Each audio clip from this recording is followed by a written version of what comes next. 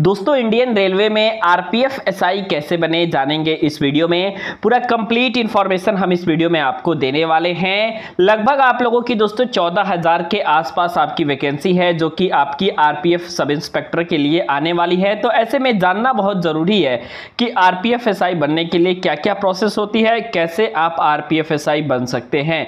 Physical का क्या criteria रहता है ऑनलाइन एग्ज़ाम कैसे होता है, सारी बातों के बारे में जानकारी आज के इस वीडियो के माध्यम से हम देने वाले हैं।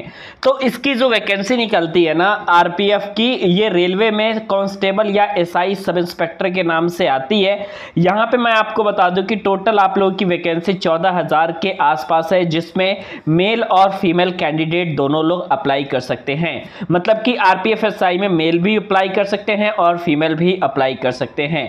इसकी वैकेंसी आरआरबी के द्वारा निकाली जाती है और अप्लाई मोड इसका ऑनलाइन होता है। मतलब जब वैकेंसी आती है तो आप इसमें ऑनलाइन फॉर्म भर सकते हैं आरपीएफ एसआई का पेपर दे सकते हैं।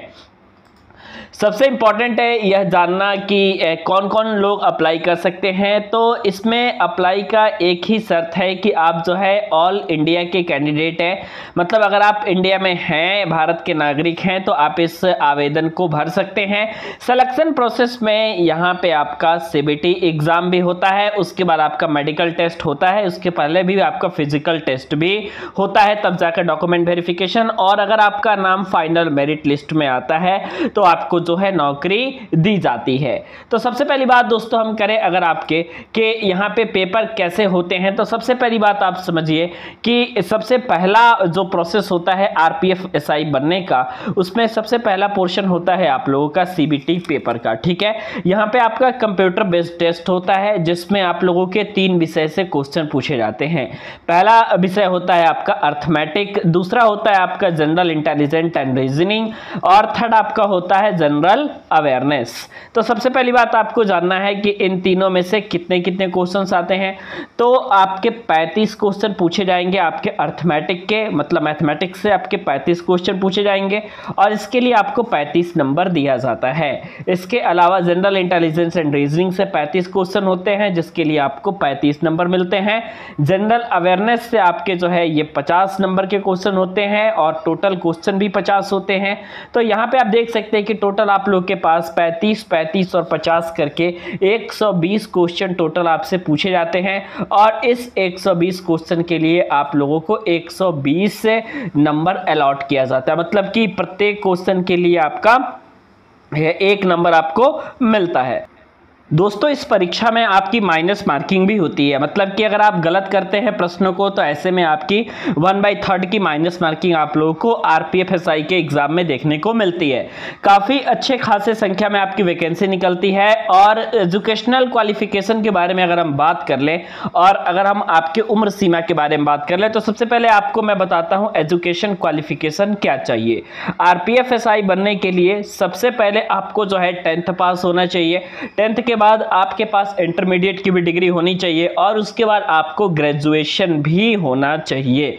मतलब कि जितने ग्रेजुएट कैंडिडेट हैं, वही लोग आरपीएफ एसआई का फॉर्म भरते हैं। ग्रेजुएशन इसमें मोस्ट है, जो कि आप लोगों के लिए ज़रूरी है। बिना ग्रेजुएशन के आप इसके फॉर्म को नहीं फिल कर सकते।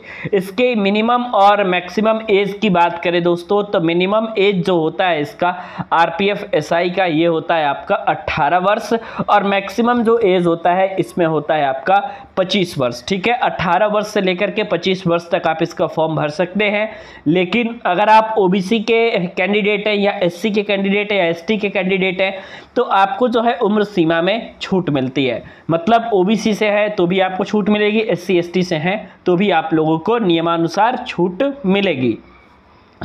अब बात करते हैं दोस्तों, सबसे ज़्यादा जो इम्पोर्टेंट है कि R P F S I की सैलरी कितनी होती है और क्या क्या चीज़ें आपको मिलती हैं, ठीक है? तो मैं सबसे पहले बताऊँ, अगर आपको R P F S I की सैलरी के बारे में तो स्टार्टिंग सैलरी जो होती है R P F S I की, ये इक्कीस हज़ार सात सौ रुपये से लेकर के और पैंतीस हज़ार पाँच सौ रुपये तक आपकी सैलरी होती है। इसके अलावा रेलवे की तरफ़ से मिलने वाली तमाम सुविधाएँ आपको दी जाती हैं।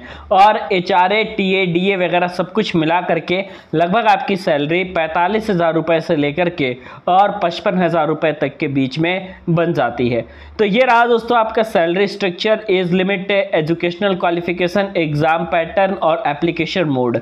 सबसे ज़्यादा ज़रूरी यह है कि आपको जानना कि क्या लिखित परीक्षा के बाद आपकी फ़िज़िकल एफिशिएंसी टेस्ट होती है।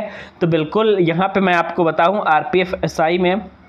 आपको जो है फ़िज़िकल एफिशिएंसी टेस्ट भी देना पड़ता है, जिसमें आपका दौड़ होता है साढ़े छः मिनट में आपको 1600 मीटर की दौड़ और यहाँ पे मैं आपको बताऊँ महिलाओं को चार मिनट में 800 मीटर की दौड़ पूरी करनी पड़ती है, ठीक है? इसके अलावा तीन फीट नौ इंच पुरुषों को हाई जंप इसके अलावा महिलाओं को तीन फीट की जंप पूरी करनी पड़ती है, जिसके लिए आपको जो है सिर्फ़ दो चांस मिलते हैं। लॉन्ग जंप लॉन्ग जंप की बात करें तो लॉन्ग जंप में पुरुष कैंडिडेट को बारह फीट और महिला कैंडिडेट को को नौ फीट की जंप लगानी पड़ती है। तो ऐसा रहता है आपका फ़िज़िकल फिट इसके बाद दोस्तों, आपको फ़िज़िकल मेज़रमेंट टेस्ट को पास करना पड़ता है, जिसमें जनरल पुरुषों की जो हाइट होनी चाहिए, वो आप लोग की एक सौ पैंसठ सेंटीमीटर होनी चाहिए और चेस्ट आपका 80 सेंटीमीटर होना चाहिए।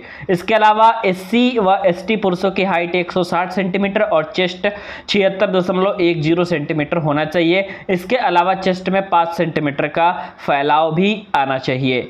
महिला कैटेगरी की बात करें तो महिला जनरल कैटेगरी की महिलाओं के लिए एक सौ सत्तावन सेंटीमीटर की हाइट और एस सी कैटेगरी की महिलाओं को लिए एक सेंटीमीटर की हाइट आपका होना चाहिए। तो लास्ट में जब आप फ़िज़िकल मेज़रमेंट टेस्ट को भी पास कर लेते तो उसके बाद आपका जो है डॉक्यूमेंट वेरिफिकेशन होता है और डॉक्यूमेंट वेरिफिकेशन की प्रक्रिया के बाद लास्ट में आपकी फाइनल मेरिट निकलती है। फाइनल मेरिट लिस्ट में अगर आपका नाम होता है, तब आप R P F S I बन सकते हैं और आप जो है सरकारी सेवाओं में जा सकते हैं। वीडियो कैसा लगा दोस्तों, आप कमेंट करके ज़रूर बताइएगा।